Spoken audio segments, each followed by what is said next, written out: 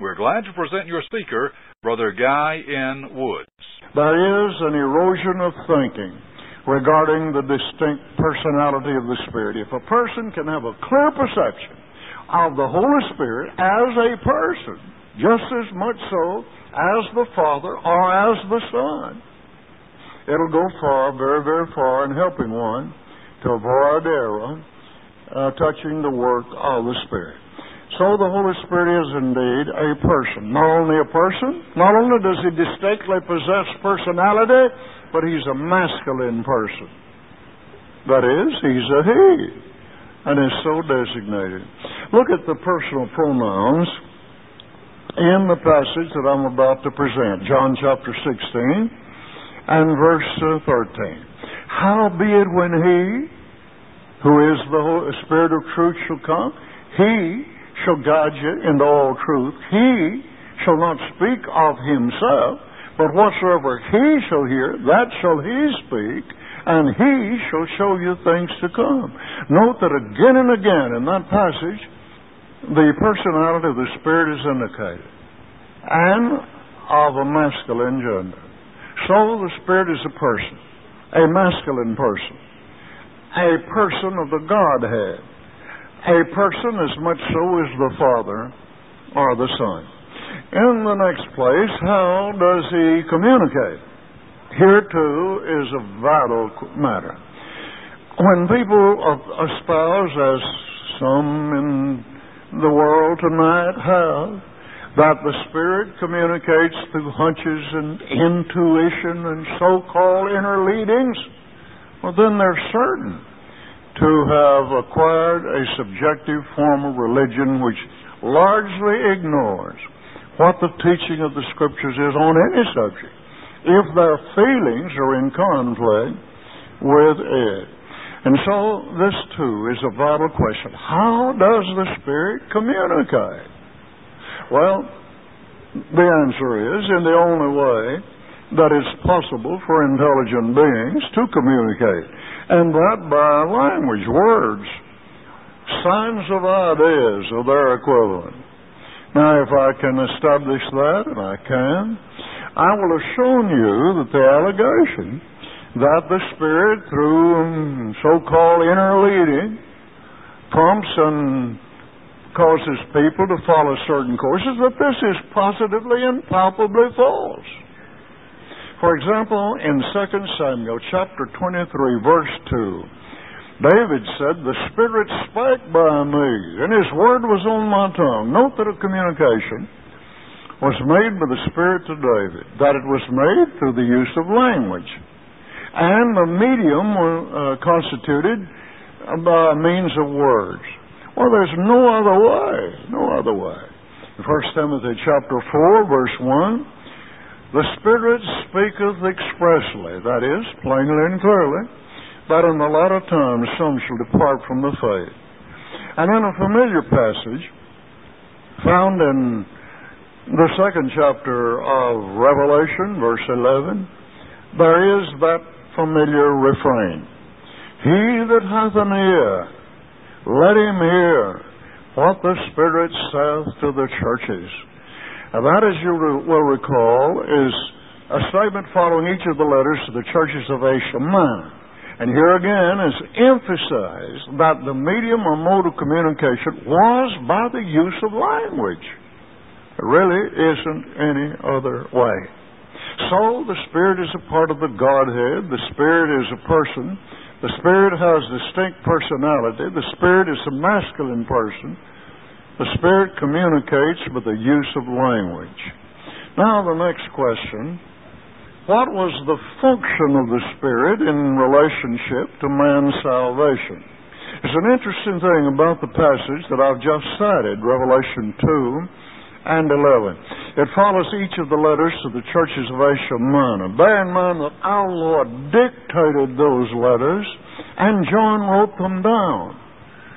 Nonetheless, the text says that we, in hearing them, we hear what the Spirit says. Now, why is it that if the Lord dictated them and John wrote them, that in receiving them, we receive what the Spirit said? Vital matter. Vital indeed. And that's this. It was never the function, never the function of the Holy Spirit to originate truth. That function was that of the Father and the Son. And it was the function of the Holy Spirit to reveal the truth that the Father and Son made known to him. Now, if I can establish that, and I certainly can, I will have shown you that the view that some hold today, that the Spirit is making new, fresh, and formerly unknown matters known to the world today, in addition to and apart from and independent of the New Testament, that that's false and hurtful and pernicious. It's just not so. And I shall prove it by the testimony of the Spirit Himself. I already introduced the passage in another connection. John 16:13. Now look at it from this viewpoint. Howbeit, when He, who is the Spirit of truth, shall come, He shall guide you into all truth. Now watch.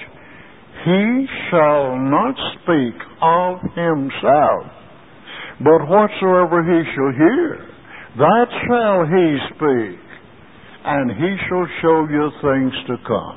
What does that evidence then?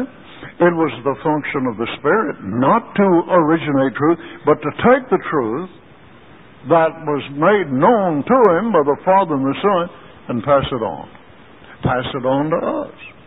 So the next question how and by what means did He pass it on to us?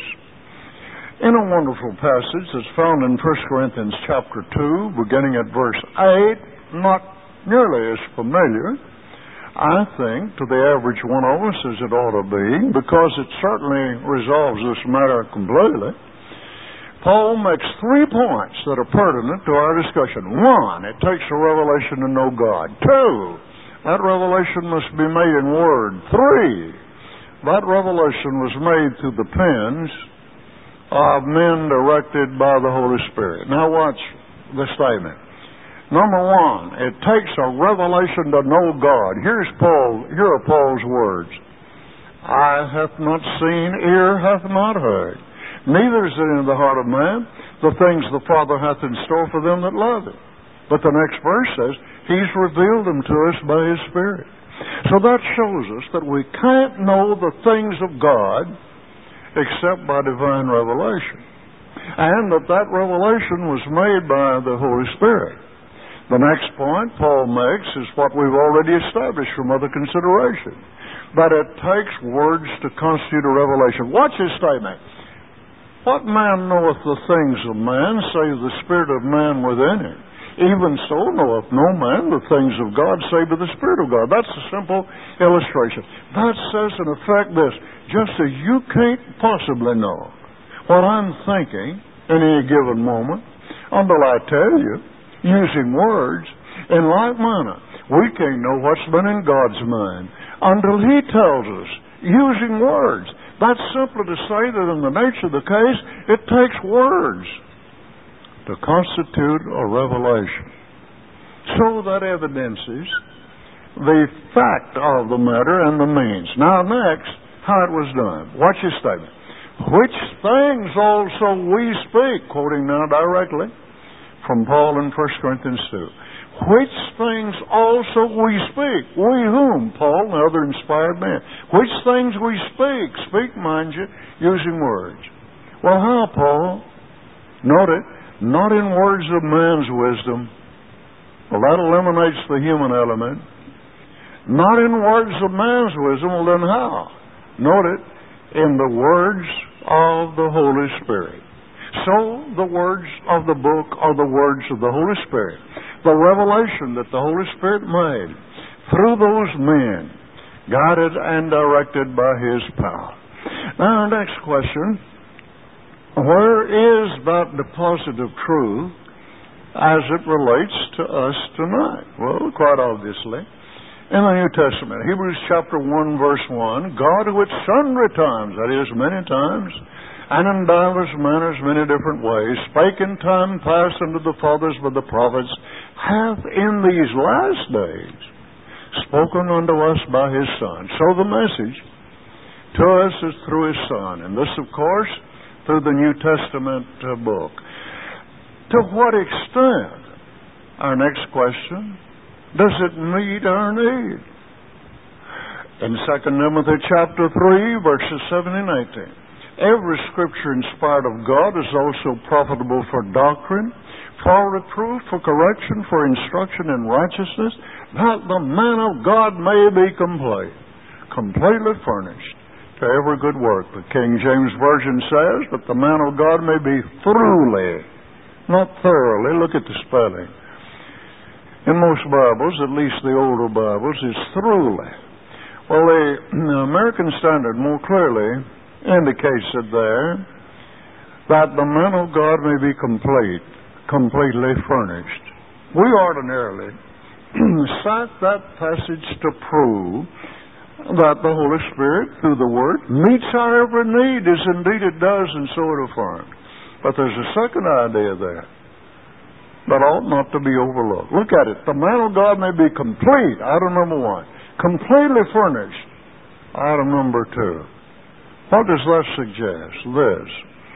First of all, it meets my every need supplying me with all the information necessary in order to my salvation.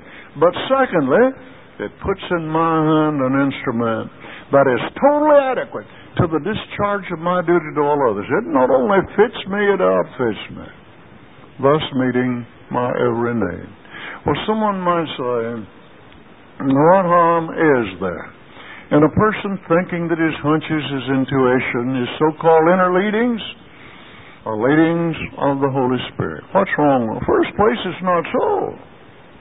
I do not want to believe a falsehood regarding any matter, and particularly one that would affect my eternal well being.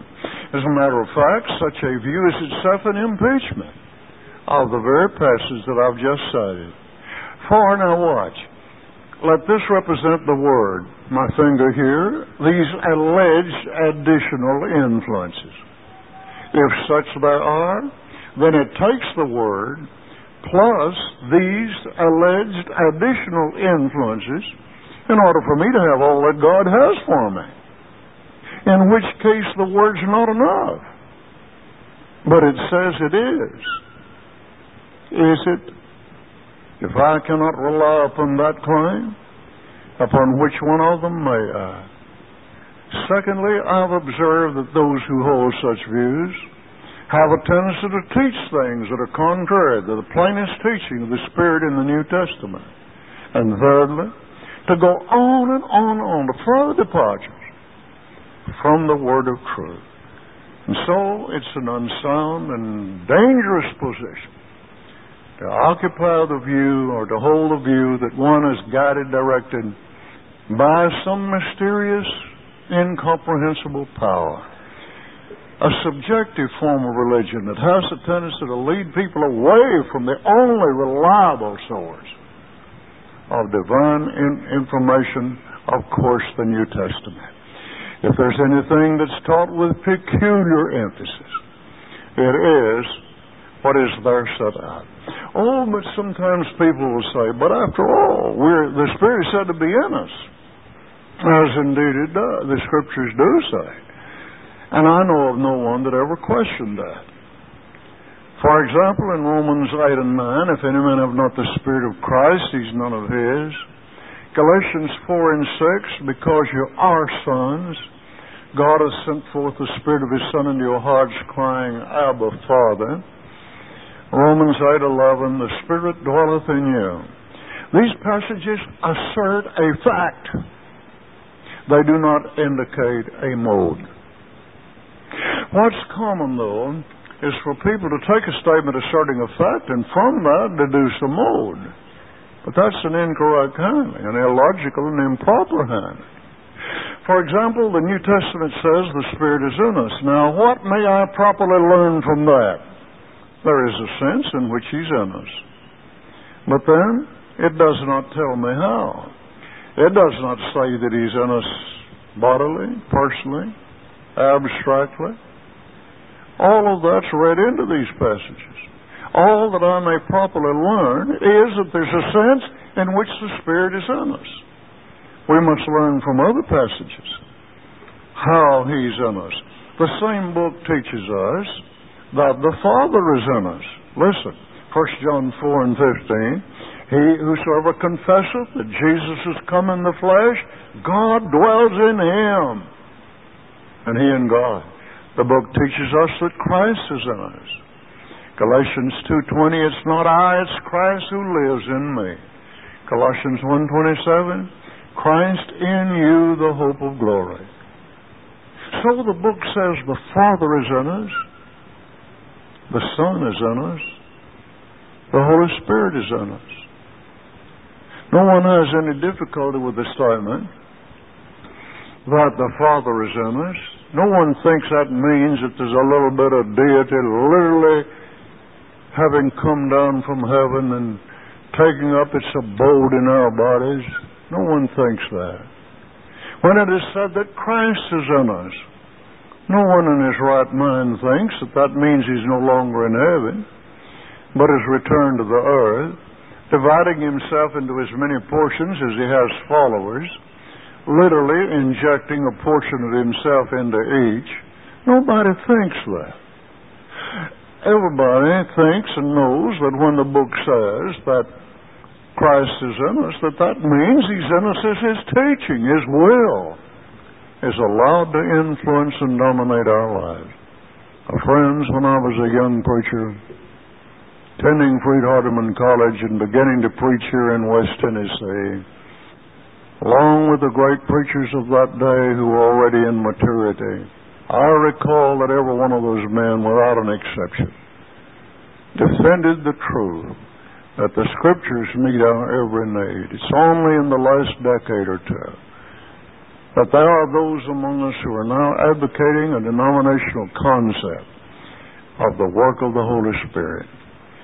In those days, the ablest men among us debated the question on these very matters, and they refuted the arguments, the very same arguments that are being made today by some who advocate a direct influence of the Spirit. There are those that say, well, but we have to have the Spirit to illuminate the Word. Imagine.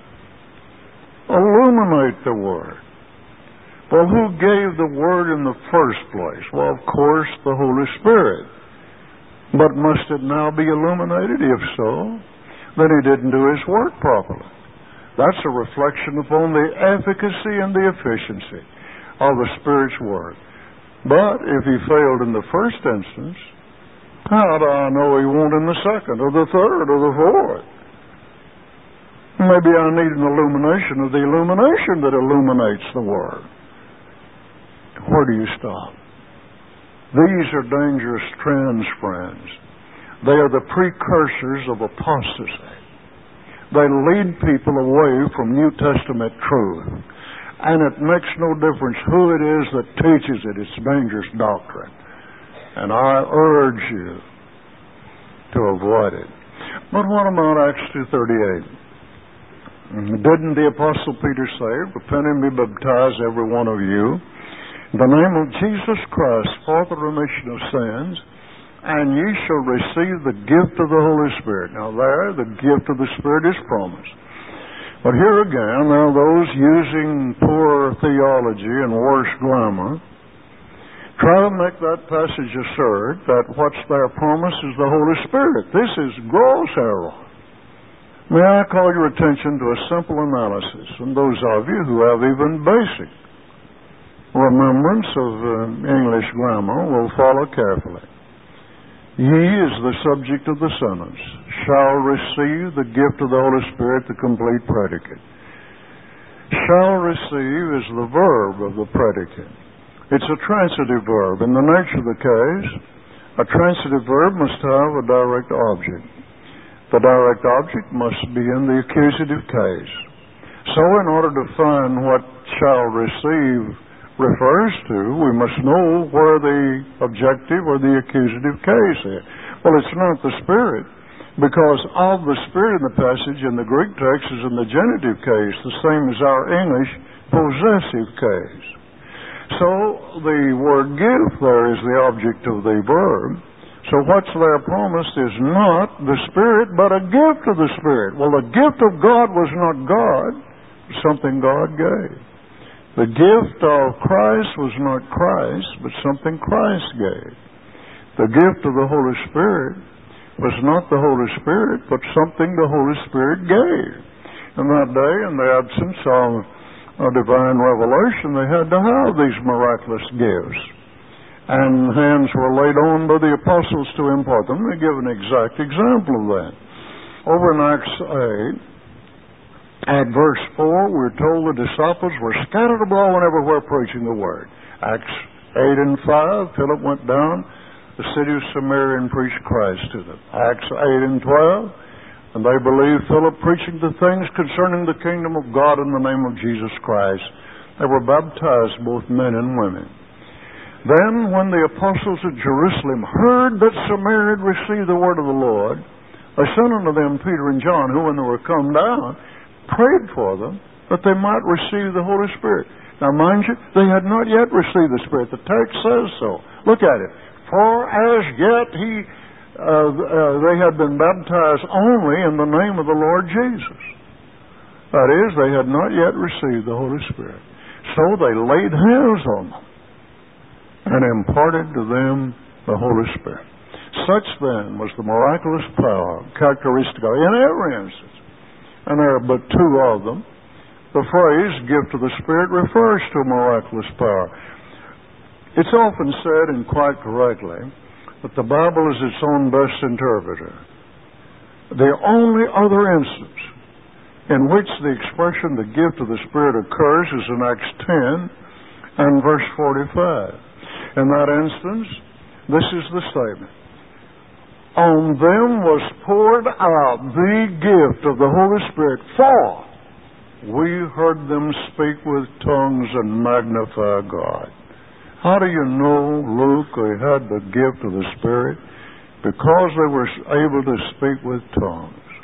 If the Bible be allowed to define the phrase, that's what it means. If a speaker or writer uses a statement, he uses it in every instance in the same sense, unless he indicates a different usage. Otherwise, we'd simply be confused. The Holy Spirit uses this expression twice. One is a commentary on the other. Acts 10:45 explains the nature of Acts 2:38. One other point, and I must close. Have you ever thought about the far-reaching consequences of the idea of a so-called bodily indwelling of a part of the Godhead? Let me raise some questions for your contemplation. What was it that made our Lord an object of worship here on this earth? Well, it is because he was deity in the flesh. God came down in the flesh. Our Lord actually lived in a human body here on earth? Yes. What is that? Incarnation. Well, what difference, friends, and consider this carefully. What difference would it make as to the incarnation and the object of worship, whether it is the second person of the Godhead or the third person of the Godhead. If the second person of the Godhead was an object of worship living in a human body, why wouldn't the third person of the Godhead, literally living in a human body, be an object of worship? Are we prepared to bow down before each other? The idea is, of course, ridiculous. And so is the viewpoint. And many of us accept it. Why is it that some accept these views? Answer. They've been drinking too deeply from the wells of denominational theology. Friends, we have a great stake in these matters. We have an obligation to those who went before us to maintain earnestly and faithfully the faith delivered to the saints. I honor and feel a deep reverence for those great and godly men who paved the way for us in order that we might have a pure faith and a faultless practice. Let's don't let anybody take it away from us. To be a Christian, you must believe, repent of your sins, on confession of faith be baptized for the remission of sins, thus be added with the Lord to his New Testament church.